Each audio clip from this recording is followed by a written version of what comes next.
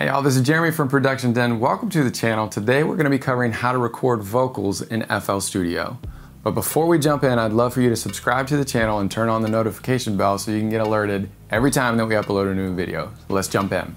So there's some basic equipment that you need to be able to record vocals in FL Studio. Today I'm gonna be using a condenser microphone that has a head basket it connects to a microphone stand and I have a pop filter, an XLR cord, and that goes into my audio interface.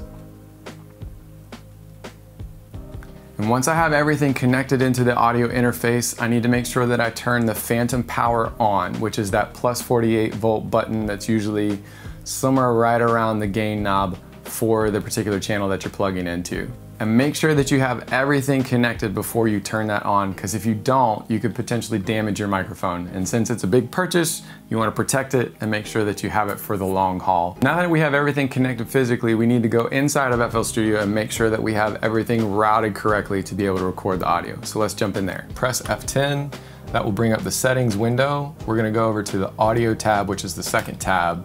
And the thing that you need to do here is make sure that FL Studio is pulling audio from your audio interface. And what that means is selecting the driver for your audio interface. It may be that when you first plug in your audio interface to your computer, that it does a little bit of an installation of a driver. You may wanna look for an updated driver if you start having some problems with this. But what you want to look for is the ASIO driver for your particular audio interface. So mine is the PreSonus audio box that I'm using. So I want to make sure that I'm using the audio box ASIO driver, which I am.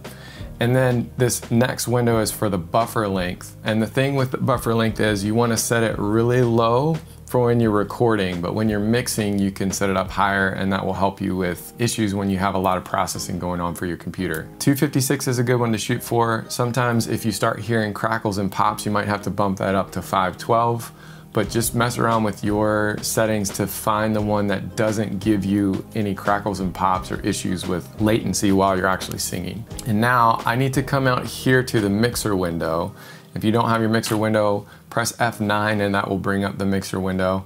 I'm gonna find a blank insert. Uh, in this case, I'm gonna use or insert 13. And now I have to set this up to be able to receive audio from the audio interface. So now I'll come over here to this drop down menu, which is on the right side, and I will select input one, which is the one that my microphone is on. Don't select this one, the stereo one, because you're, you're only plugged into one source. So you wanna make sure that you're using the mono source and using the input that the actual microphone is plugged into. So in my case, it's input one. And I'm gonna mute it so the audio is not coming through. But once you have that coming in, then you need to start adjusting the levels for your vocals to get it to be hitting around here in that like minus 9 to minus 16 range on the meter and that will give you a good clean signal that you can work with to make sure that you don't have a lot of other stuff going on in your song. So adjust your gain knob to make sure that that's working and once you have that set up then you can start setting up to actually record. So right now you can see that this arm recording button is on so you can right click on it and it'll bring up the window of where you're going to save that file to and you can select a different folder if you want to or you can put it where you want to put it to be able to use it later. Um, and you want to name it something that you'll be able to go back and figure out what it is. So for this one, I'm going to call it like vocal scratch. And I'll do V2 since I've already done one. And so now it's armed for recording. So I want to also make sure that the settings up here are set up the way that I want them for when I start to record. You may or may not want the metronome on, which is this one. It can sometimes help you keep track of time, but if it's too loud, it actually might be picked up in your microphone. So be aware of that. And I also like to put on this countdown timer, which is this one right here, which will count in before it actually starts recording. So it'll be like a three, two, one, and then it starts recording.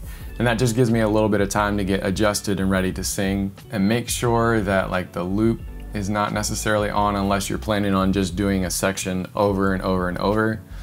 Make sure you're in song mode so that way it will record into the playlist. So go ahead and right click also on the record button and make sure that the audio selection is checked and then make sure that recording starts on playback is also checked. As you do that, you're basically ready to record. You can either hit the record button or you can press R on your keyboard and that will start the recording. And when you wanna stop the recording, you can press the space bar. So I'll show you a quick demo of basically making a, a simple recording with that. I'll just kind of pick you guys up and take you with me. I'm using headphones to monitor what is playing in the background. Let me just show you what's playing on here.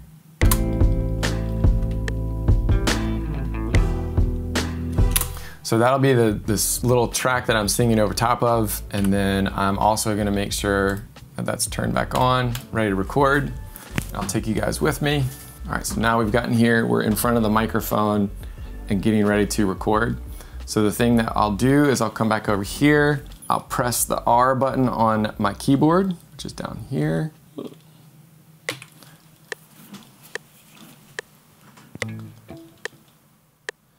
Everybody do the way you feel, but nobody can say just what they need to do. Everybody knows just how they want things to go, but they know it's the better to blah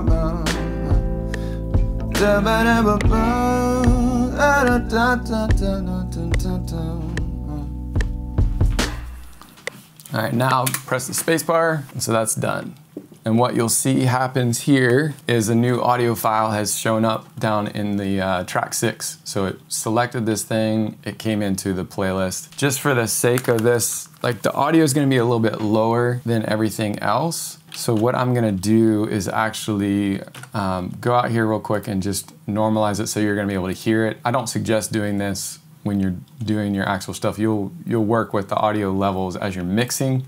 But just so you guys can hear what was done, I, I take the record button back off so that keeps it from recording again when I press the space bar, and you'll hear the audio that we just recorded in really quickly. Everybody do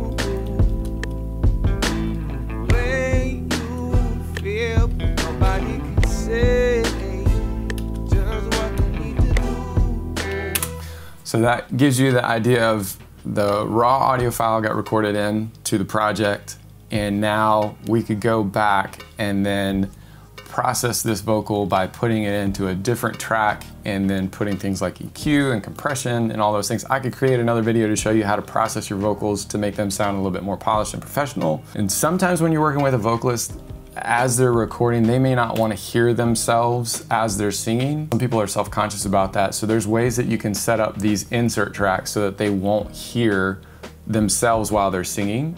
Or you might have singers that want to hear themselves, but want to hear themselves with some reverb or, or some other effects that make them sound good so they feel more confident while they're singing.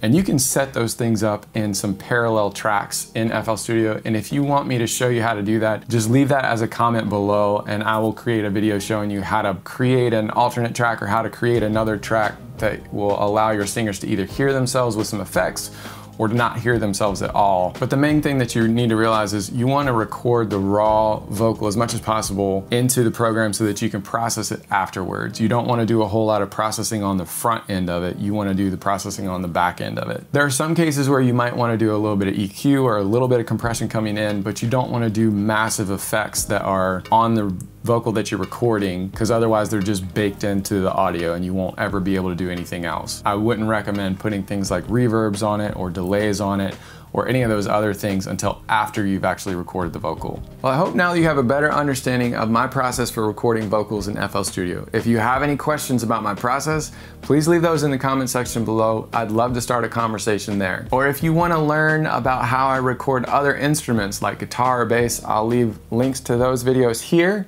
as well as some links in the description below. Hopefully this was helpful for everyone and I will see you in the next round.